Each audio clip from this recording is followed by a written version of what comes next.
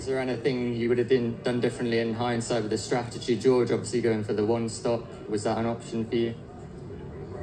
Um, would have made my own strategy. Um,